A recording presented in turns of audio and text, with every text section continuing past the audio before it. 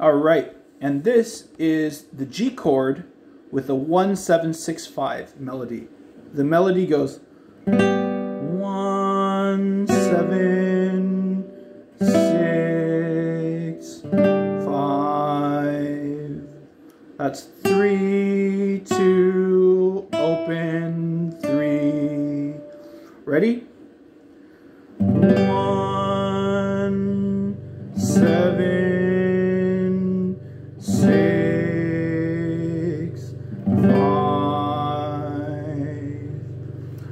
And just be sure you're paying closer attention to the melody than to the sound of the chord.